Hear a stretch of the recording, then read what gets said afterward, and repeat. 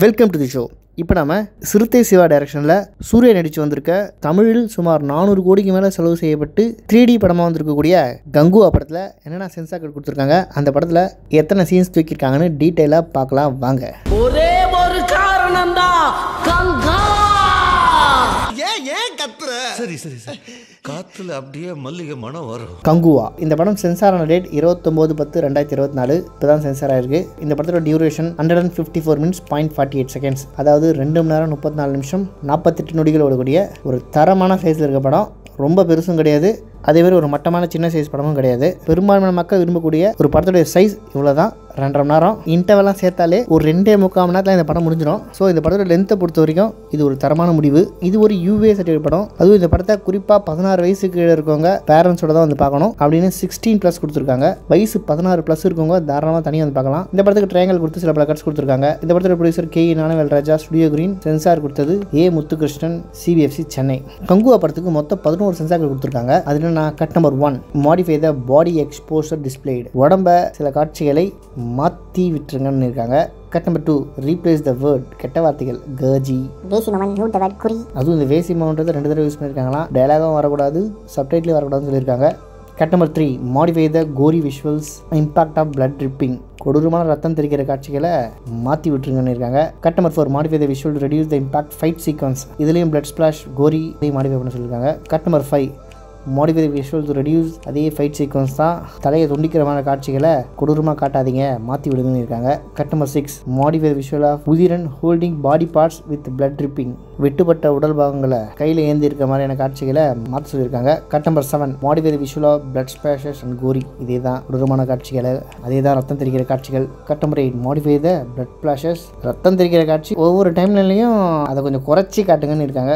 Cut number nine modify the sustained shot of gory image இதுவும் அதே மாதிரி தான். இன்னொரு கோரான காட்சி. Cut number ten modify the visual of gory image body part கட்டமரவன் gory major body part விட்டு விட்டு துண்டு துண்டாக கிடக்கிற உடல் பாகங்களை கொடூரமாக காட்டாதீங்க அப்படின்ற சென்சார் தான் அப்படின்றது தான் இந்த கங்குவோட சென்சாரில் அதிகமாக வந்திருக்கு. சென்சாரை பார்க்கும்போதே தெரியுது நம்ம எல்லாரும் ரத்த மழையில் சொட்ட சொட்ட நனைய போகிறோன்னு ஒரு படு பயங்கரமான கொடூரமான ஆக்ஷன் படமாக இது வர்றதுக்கு ஒரு படு பயங்கரமான ரத்த பூமி தான் இந்த கங்குவான்னு இந்த சென்சார் பார்க்கும்போது நல்லா தெரியுது.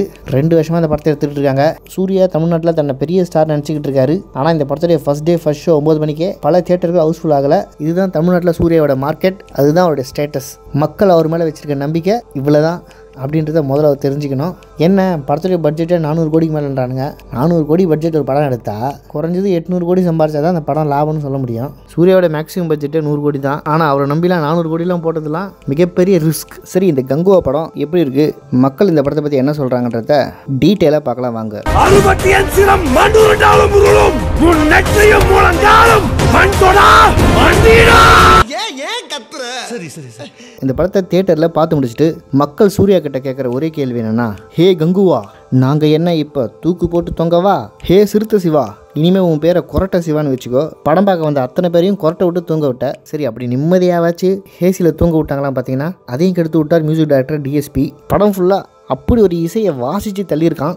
நடு மண்டையில் ஓங்கி சுற்றி ஏத்த அடிச்ச மாதிரி அத்தனை பேரும் மண்டை வலியோட தேட்டருக்கு விட்டு வெளியே வந்திருக்காங்க. அட பாவிங்களா தலை வலிக்குதுடா தலை வலிக்குதுடா. தாங்க முடியலடா. ஏதாச்சும் அனா சின்னம் நோவா சின்னம் ஏதாச்சும் கொடுங்கடான்னு எல்லாரும் தேட்டர் விட்டு திருச்சி மெடிக்கல் ஷாப் பக்கம் போய் மாத்திரை வாங்கி போட்டிருக்காங்க. ரெண்டாயிரத்தி பதினாலில் அஞ்சான் இப்போ ரெண்டாயிரத்தி இருபத்தி நாலில் கங்குவா. சிறுத்தை சிவாவை திரும்பவும் பார்த்தாருன்னா சூர்யா கேட்குற முத கேள்வி எப்படியோ நம்மளை முடிச்சு விட்டீங்க போங்க அப்படின்ற டைலாகை முதல்ல கேட்டால் தான் சரியாக இருக்கும். ஞானவேல் ராஜா சிறுத்தை சிவா சூர்யா அடுத்து நம்ம ராக் ஸ்டார் டிஎஸ்பி இந்த நாலு பேர் சேர்ந்து நல்ல படத்தை எடுக்க போகிறாருங்க எப்படி இந்த படம் முரட்டு அடி வாங்க போகுதுன்னு படம் ஆரம்பித்த காலத்துலேருந்தே பல பேர் சொல்லிட்டு இருந்தாங்க. என்னடா நம்மள இந்த ஊர் உலகம் சுத்தமாக நம்ப மாட்டேங்குது. இந்த அளவுக்கு கழுவி ஊத்துறானுங்க. ஒரு நல்ல படத்தை எடுத்து எங்களுக்கும் நல்ல படம் எடுக்க தெரியும்னு நிரூபிக்கிறோம். நாங்கள் யாருன்னு இந்த மக்களுக்கு காட்டுறேன்னு ரொம்ப பெரிய வைராக்கியத்தோட இந்த படத்தை எடுத்திருப்பாங்கன்னு ஒரு ஒரு பர்சன்ட் நினச்சிருந்தேன். ஒரு ஒன் பர்சன்ட் நம்பிக்கையாச்சு. எனக்கு ஏதோ ஒரு மூலையில் தோணுச்சு. படம் ஃபர்ஸ்ட் ஆஃப் முடியும் போதே இன்டர்வலே தெரிஞ்சு போச்சு. இது ஒரு காட்டு மொக்க படம்னு. இருந்தாலும் செகண்ட் ஹாஃப் ஏச்சு ஓரளவுக்கு நல்லா எடுத்திருந்தா ஒரு ஆவரேஜ் படமாச்சும் ரிசல்ட் வரும்னு பொறுத்துன்னு தான் பார்த்தேன். ஒருவேளை அப்படி கொஞ்சம் நல்லா எடுத்திருந்தா ரொம்ப கஷ்டப்பட்டாச்சு இந்த படத்துக்கு கொஞ்சம் முட்டு கொடுத்து பேசியிருக்கலாம். ஆனால் உருப்படியாக இந்த படத்தில் நல்ல சீனுன்னு சொல்கிறதுக்கு மொத்த படத்தில் ரெண்டு சீன் கூட இல்லை. இந்த படத்தில் பாசிட்டிவ்னு எதை பேசுறது? இந்த படத்துக்கெல்லாம் முட்டு கொடுத்து பேசினா மூச்சு தான் வாங்கும். இதில் வேறு இந்த படம் ரெண்டாயிரம் கோடி அடிக்குமா? அப்போ இவ்வளோ நாளாக நீ பேசிகிட்டு இருந்ததெல்லாம் பொய்யா கோபால் அப்படின்னு ஊரே இந்த ஞானவேல் மூஞ்சியை பார்த்து சிரிக்குது. சூர்யா சொன்னார் இந்த கங்குவா படம் உங்கள் வாயை புழக்க வைக்கணும் ஆனால் புழக்க வச்சது வாயை இல்லை. நம்ம காதை தான். அந்தளவுக்கு காது ட்ரம்மு கிழிஞ்சு தொங்குது. காதில் அடிச்சு அடி மண்டைக்கு வேற ஏறி ஒரே ஹெட் பெயின் விஜய்க்கு புலி அஜித்க்கு விவேகம் ரஜினிக்கு அண்ணாத்த அந்த வரிசையில் இப்பொழுது சூர்யாவுக்கு கங்குவா. என்னென்ன கதை விட்டானுங்க? இந்தியாவே இந்த படத்தை திரும்பி பார்க்கணும்னு சொன்னானுங்க. கடைசியில் இந்தியன் டூ படத்தையே திரும்ப இன்னொரு தடவை பார்த்துலாம் நினைக்க வச்சுட்டானுங்க. படம் ஃபுல்லாக சூர்யா என்ன கற்று கத்துறான்? இந்த படத்துக்கு கங்குவான்னு வச்சதுக்கு பதில் கத்துவான்னு வச்சிருக்கலாம். சரி சரி சரி. அப்படின்னு சொல்லி சிரிக்கிறது பொதுமக்கள் கிடையாது. சூர்யா ஃபேன்ஸே இந்த படத்தை பார்த்துட்டு அப்படி கதறாங்க. டே சிவா நீ மட்டும் எங்கள் கையில் சிக்கன முதல்ல அஜித் வாழ்க்கையை கெடுத்த அப்புறம் ரஜினியை கவுத்த இப்போ சூர்யா வாழ்க்கையை நாசமாக்கிட்டேன்னு மக்களோட சாபத்தை வாரி குவிக்கிறாரு சிறுத்தை சிவா மொதல் ஷோலே இந்த படம் தெரிஞ்சு போச்சு மரண மொக்கன்னு.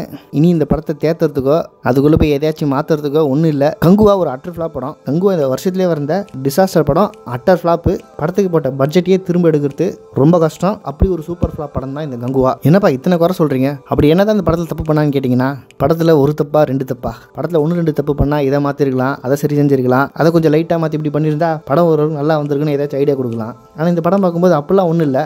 இந்த படமே ஒரு குறை தான். இதில் வேற கிளைமேக்ஸில் பெரிய ட்விஸ்ட் இருக்கான். கிளைமேக்ஸில் பெரிய சர்ப்ரைஸ் இருக்கான். சரி அது என்ன ட்விஸ்ட்டு என்ன சர்ப்ரைஸ்னு வெயிட் பண்ணி பார்த்தா கடைசியில் கேமியாவாக கார்த்தி வராரு. எது இவனா சர்ப்ரைஸ் இவன் தான் இந்த படத்தோட கிளைமேக்ஸில் வருவான்னு மூணு மாதம் முன்னாடி நமக்கு தெரியுமே. வேறு ஏதாச்சும் வச்சிருக்கியா ட்விஸ்ட்டு இல்லை. இவ்வளோதான் அப்படின்னு படத்தை முடிச்சுட்டு நம்மளை போக சொல்லிட்டானுங்க. கேட்டால் இதான் செகண்ட் பார்ட்டுக்கு லீடான் அப்படியே அண்ணனும் தம்பியும் செகண்ட் பார்ட்டில் சேர்ந்து அறுத்து தள்ளிடுவானுங்க. போங்கடா நொங்குவானுங்களா? அப்படின்னு காரி துப்பி விட்டு சென்று விட்டார்கள் மக்கள். சரி இந்த படத்தில் கதை என்னப்பா அப்படின்னு கேட்டிங்கன்னா ஒரு படத்தில் கதை சிம்பிளாக இருந்தாலும் திரைக்கதை நல்லா அமைச்சா அந்த படம் நிச்சயம் மக்கள்கிட்ட வரவேற்பு பெற்று ஓடிடும். ஆனால் இந்த கங்குவா படத்தில் திரைக்கதை ரொம்ப மட்டமாக தான் இருக்குது ஸ்டார்டிங் சீன்லேருந்து சூர்யா கிளைமேக்ஸ் வரைக்கும் தேவையில்லாமல் கத்திக்கிட்டே இருக்காரு. நிறுத்தி நிதானமாக அமைதியாக எவனுமே பேச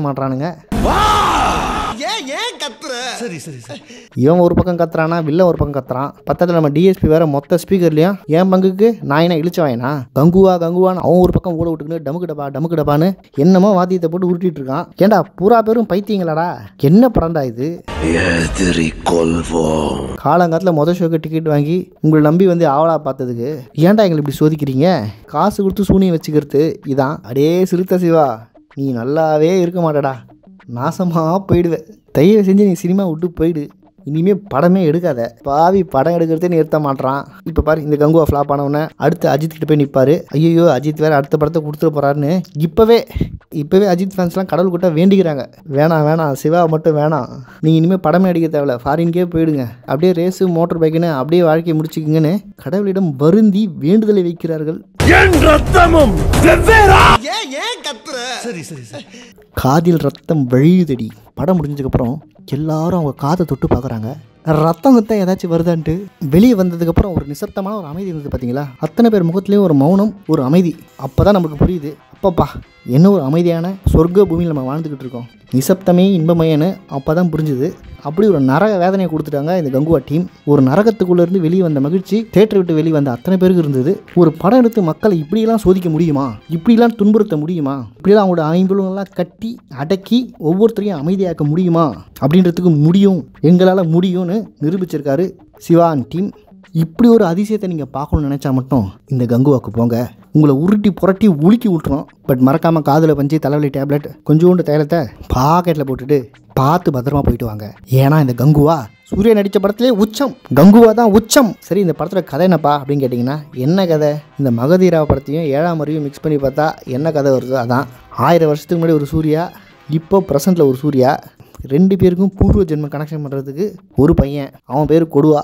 நம்ம இந்த படத்தில் பெரிய டார்ச்சர் பண்ணதுக்கு அந்த குட்டி பையனான கொடுவாகும் பெரிய பங்கு இருக்குது படம் ஃபுல்லாக சூர்யா அந்த பையனை காப்பாற்றணுன்றான் முதல்ல கிட்டலாம் சண்டை போடுறாரு. படம் பார்க்குற ஆடியன்ஸுக்கு எதுக்கு அந்த பையனை காப்பாற்றிக்கிட்டு அந்த அறுவாளர்ரா இப்போ அந்த பையனை வெட்டி சோழியை முடிச்சு போடலாம். சூர்யா வேற ஏதாவது பழப்ப பார்க்க போட்டோன்னு அவ்வளோ காண்டாடுறாங்க அந்த பையன் மேலே. இவெல்லாம் இருந்தா என்ன செத்தா என்ன? இதை கொடுமைனா அந்த சின்ன பையனை காப்பாற்றுறதுக்கு தன்னோட ஊர் மக்களையே விட்டு வெளியே போயிடுறாரு சூர்யா. அந்த மக்கள்லாம் சூர்யா இல்லாமல் நம்ம எதிரிங்கிட்ட எப்படி சண்டை போடுறது அப்படின்னு பயந்துக்கிட்டு இருப்பாங்க. இந்த மாதிரி தான் இந்த படத்தில் பெரிய லாஜிக் மிஸ்டேக் ஒரு உயிர் காப்பாற்றுறது முக்கியமா? இல்லை பல்லாயிரக்கணக்கான தன் சொந்த மக்களை காப்பாற்றுறது முக்கியமானு கேட்டிங்கன்னா நீங்கள் எதுன்னு சொல்லுவீங்க? நம்ம வேலுநாயகர் காலத்துலேருந்து நாலு பேருக்கு நல்லது எதுவோ அதான முக்கியம்னு சொல்லுவீங்க. ஆனால் இந்த படத்தில் சூர்யா அந்த பையன் பக்கம் போய் இப்போ தெரியுதா? இவனுக்கு எவ்வளோ பேர் பைத்தியன்ட்டு பத்தாத்தில் இந்த படத்தில் மெயின் வில்லன்றவன் யாருன்னா இவனுங்க தீவு பக்கத்துலேயே இருக்க இன்னொரு தீவுக்காரனுங்க தான்.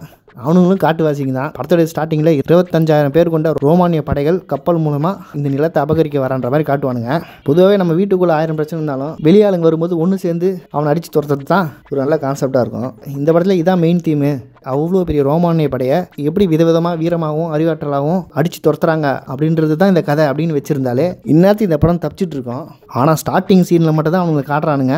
அந்த இருபத்தஞ்சாயிரம் பேர் அதுக்கப்புறம் எங்கே தான் போனான்னு தெரில கப்பல்லையே கடல்லே முழுகி செத்துட்டானுங்களா? இல்லை இந்த ரெண்டு காட்டு பையெல்லாம் அடிச்சுட்டு சாப்பிட்டோம் நம்ம போயிட்டு அடுத்த வருஷம் வரலான்னு திரும்பி போயிட்டாங்களான்னு தெரில இருக்கிறது அஞ்சு காட்டு கூட்டம். இவனுக்குள்ளே என்ன நீ பெரியவன் நான் பெரியவன் நீ ராஜா நான் மந்திரின்ட்டு அப்படி என்ன பெரும் பகன்றதே தெரியல. இந்த படத்தோட கதை நமக்கு பிடிக்காம போனதுக்கு இதுவும் முக்கிய காரணம். அதுவும் ப்ரெசன்ட் சீனில் நடக்கிற மாதிரி இந்த படத்தில் மொதல் ஒரு இருபது நிமிஷமும் லாஸ்ட் ஒரு இருபது நிமிஷமும் வருது. அதெல்லாம் ஒரு மார்க்கெட்டிங் ஸ்ட்ராட்டஜி ஹிந்தி ஹீரோயினுக்கு விதவிதமாக ட்ரெஸ் கொடுத்து ஆட விட்டா இன்னும் கொஞ்சம் வியாபாரம் ஆகும்னு இன்னும் அடுத்த லெவலுக்கு போகுமென்ட்டு ஞானவேல் சூப்பராக ஸ்கெட்ச் போட்டு பண்ணியிருக்காரு. ப்ரெசன்ட் சீனும் மொக்க பாஸ்ட்டும் மொக்க. ஒன்றும் இதுக்கு அது சளைச்சதில்லைன்ற மாதிரி தான் இருக்குது சூர்யாவை தவிர்த்து இந்த படத்தில் ஒரு கேரக்டரும் ரிஜிஸ்டர் ஆகலை. எல்லா இடத்துலையும் அவர் மூஞ்சியே காட்டணும் அவர் ஆம்சை காட்டணும் கிளைமேக்ஸில் சிக்ஸ் பேக் காட்டணும். அப்படி ஒரு நடிப்பு வெறி சூர்யாவுக்கு நான் தான் எல்லாருக்கும் தெரியணும். ஏன்னா நான் தான் இந்த படத்துக்கு ஹீரோ அப்படின்னு நொடிக்கு நொடி நிரூபிச்சிட்டு இருந்தார் படம் ஃபுல்லாக அப்பேற்பட்ட அற்புதமான கலைஞர் அவர். இந்த படம் எடுக்க நிறைய பணம் இருக்குது கிட்டத்தட்ட ரெண்டரை வருஷம் இந்த படம் ப்ரொடக்ஷன் இருந்திருக்கு. அதனால் இந்த படம் எடுக்க நிறைய டைம் இருந்திருக்கு. ஓரளவுக்கு எல்லாருமே நல்ல நடிகர்கள் தான். அப்படி இருந்தும் இந்த படம் இவ்வளோ குப்பையாக வந்திருக்குன்னா இந்த படம் எடுத்த டேரக்டர் இந்த படம் எடுத்த ப்ரொடியூசர் இந்த படத்தோட ஹீரோலாம் நம்மலாம் இந்த மாதிரி படத்தை ரசிப்போன்னு ஒரு யூகத்துக்கு வந்திருக்காங்க பார்த்தீங்களா நம்மலாம் இவ்வளோ பேர் முட்டாளாக இருப்போம்னு நினச்சாங்க பார்த்தீங்களா இந்த கருமத்தெல்லாம் பார்த்து கைத்தட்டி ரசிப்போன்னு ஓவர் கான்ஃபிடண்ட்டாக இருந்தாங்க பார்த்தீங்களா அதுக்கு தான் இந்த மரநடி இனிமேவாச்சும் திருந்துங்க. கொஞ்சமாச்சும் வருந்துங்க. இந்த பணத்திமுரு ஆணவம் அதெல்லாம் விட்டுட்டு கொஞ்சமாச்சும் மக்கள் மனநிலையை படிங்க. நீங்கள் மாறல வச்சிங்களேன். நீங்கள் எத்தனை படம் எடுத்தாலும் மக்கள் திரும்ப இந்த அடியை கொடுத்துக்கிட்டே இருப்பாங்க. இல்லை நான் சரியாக தான் படம் எடுத்தேன். இதில் ஹிடன் லேயர் இருக்குது நார்த்தில் இவ்வளோ கலெக்ஷன் பண்ணிடுச்சு தெலுங்கில் இவ்வளோ கலெக்ஷன் பண்ணிடுச்சுன்னு ஏதாச்சும் பீல் விட்டுருந்தாங்கன்னா திரும்ப திரும்ப நம்ம மக்கள் சாணியை முக்கி இதே மாதிரி மூஞ்சில் அடிச்சுட்டு தான் இருப்பாங்க. மாற வேண்டியது நீங்கள் தான் இந்த படத்துக்கு நூறு மார்க் எவ்வளோ கொடுக்கலாம்னா நீங்கள் கொடுக்குற டிக்கெட் காசுக்கு ஒரே ஒரு பர்சன்ட் கூட ஒர்த்து கிடையாது இந்த படம். Waste of time waste of money மொத்தத்தில் இந்த படம் எப்படி இருக்குன்னா கங்குவா தூக்குல தொங்குவா? அடுத்த படத்தில் சந்திப்போம். செய்யறது செஞ்சுட்டு எப்படி படுத்திருக்கான் பாரு. எனக்கு என்ன நீ ரத்தம் கைக்கு தான் சாக போற.